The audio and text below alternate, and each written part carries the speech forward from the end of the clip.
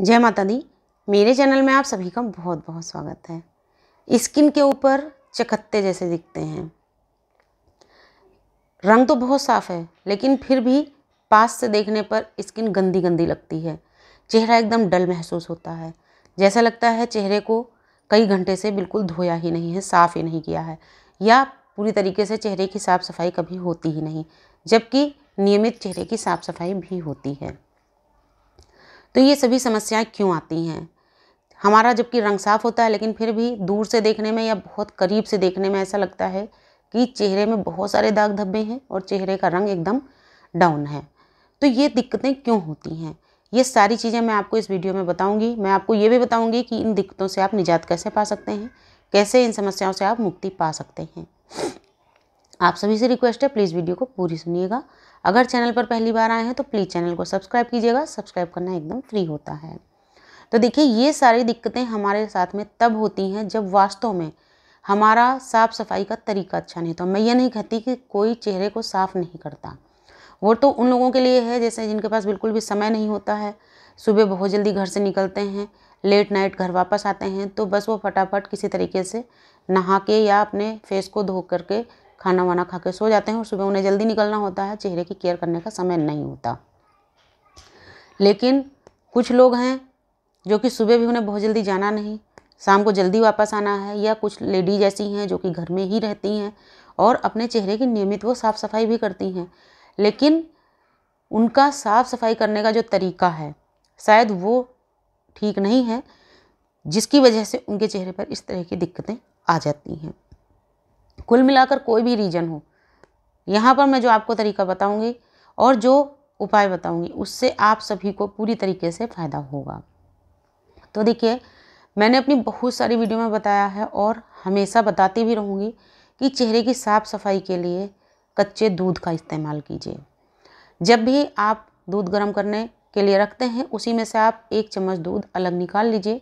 छोटी सी कटोरी में एक चम्मच दूध निकाल लीजिए। उसमें रुई का फाहा भिगो करके अपने पूरे फेस को गीला कीजिए, उसके बाद सूखे रुई से अपने फेस को पोछ दीजिए। ये क्रिया आप दो बार कर सकते हैं लगातार, एक साथ में। इससे आपके चेहरे के अंदर जमी हुई मैल गंदगी पूरी तरीके से खींच के कच्चा दूध बाहर कर देता है, जिससे कि फेस के अंदर से एक अनोखी सी ग्लो आती है, एक बढ़िया सा निखार आपके फेस के ऊपर आता है। और अगर चेहरे के ऊपर कोई दाग धब्बे होते हैं, स्पॉट्स होते हैं तो वो धीरे धीरे करके एकदम साफ़ हो जाते हैं, ख़त्म हो जाते हैं और आपकी स्किन के अंदर से एक अच्छी सी चमक पैदा होती है।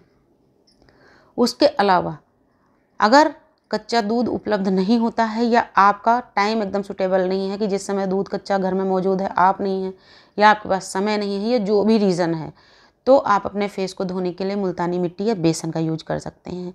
अब बेसन और मुल्तानी मिट्टी से कैसे आपको अपना फेस क्लीन करना है, इसके लिए आप मेरी एक प्लेलिस्ट है घरेलू फेस पैक या चेहरे की केयर तो उन प्लेलिस्ट में आप मेरी वीडियोस देख सकते हैं, मैंने बहुत सारी वीडियो दी हैं या बहुत जल्दी ही मैं इस पर एक और वीडियो बनाऊँगी तो आप देख लीजिएगा। यहाँ पर मैं थोड़ा सा बता देती हूँ, बस अपने हथेली के ऊपर हथेली को गीला कीजिए और आधा चम्मच सूखा बेसन रखिए, इस तरीके से मल लीजिए और चेहरे के ऊपर रगड़िए। हल्के हल्के हाथों से मलिए अपने गीले चेहरे के ऊपर और धो लीजिए। इससे भी आपका फेस पूरी तरीके से क्लीन हो जाता है, यानी कि अंदर से एकदम साफ़ हो जाता है। अब हमें अपने चेहरे की, स्किन की केयर के लिए क्या करना है? यानी कि स्पॉट्स दिख रहे हैं। रंग साफ़ होने के बावजूद भी चेहरा हमारा डाउन दिख रहा है, काला दिख रहा है, उसके लिए हमें क्या करना है? उसके लिए आपको, मैं बताऊँगी, अभी मैंने एक दो दिन पहले ही अपनी एक वीडियो दी थी नाइट क्रीम उसमें बनवाई थी, वो नाइट क्रीम आप लगातार लगाइए, आपके फेस की सारी दिक्कतें ख़त्म हो जाएँगी। उसके अलावा यहाँ पर मैं आपको एक फेस पैक बता रही हूँ।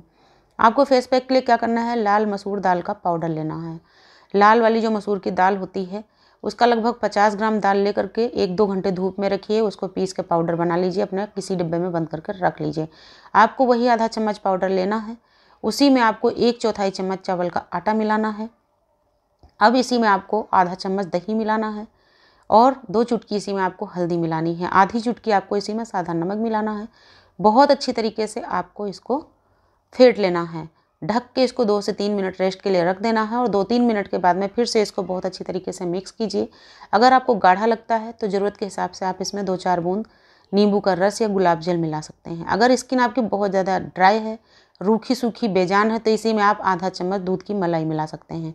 बहुत अच्छी तरीके से मिक्स कीजिए अपने फेस के ऊपर, एक इसकी मोटी सी लेयर लगा दीजिए और पंद्रह मिनट के बाद में आप सादे पानी से, गुनगुने पानी से चेहरे को धो लीजिए। अभी क्योंकि मौसम चेंज हो गया है, ठंडा है मौसम, इसलिए आप गुनगुने पानी से ही अपने फेस को धोइएगा। आप देखेंगे जैसे ही आप आपके फेस के ऊपर से ये फेस पैक उतरेगा आपके फेस के ऊपर आपको एक अनोखी सी ग्लो अनोखी सी चमक दिखाई पड़ेगी।